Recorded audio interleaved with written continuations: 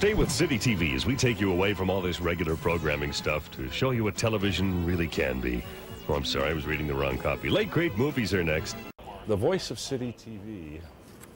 Reporter and anchor Mark Dailey was known as the voice of City TV. Today marks the 10-year anniversary of his passing. Mark began his passion for journalism in the U.S. when he was a teenager. He quickly became a reliable voice for local news across Toronto when he joined the City Pulse team in 1979.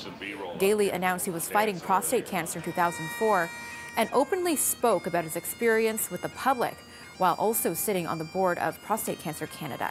He was 57 years old.